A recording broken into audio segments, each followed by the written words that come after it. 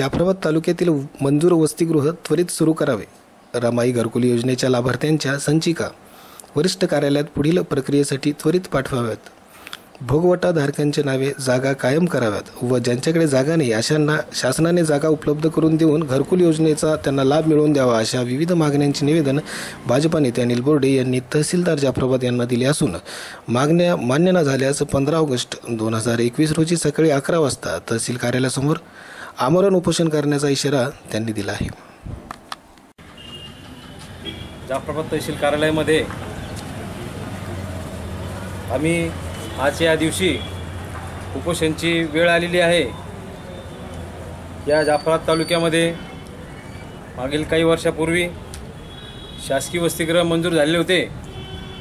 परंतु ते अद्यापही कुठल्या प्रकारचे वसतिगृह हाता हाताळणी केलेली नाही आहे तसेच यानंतर रमाई घरकुल योजना आम्ही जनतेनं रमाई घरकुल योजना आणि पंतप्रधान आवास योजना यांच्या माध्यमातून बरेचसे लाभार्थ्यांनी फॉर्म भरले होते.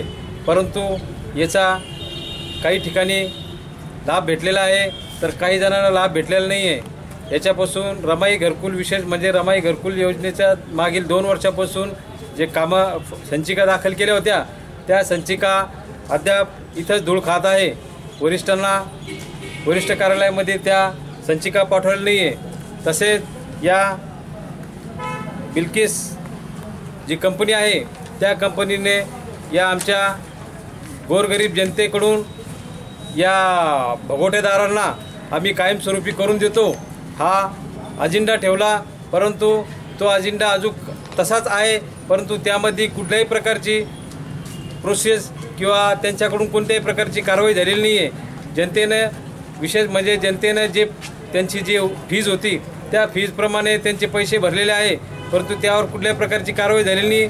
सन्माननीय जिल्हाधिकारी साहेब यांनी यावर दखल घेऊन तात्काळ याचे प्रोसेस करावे.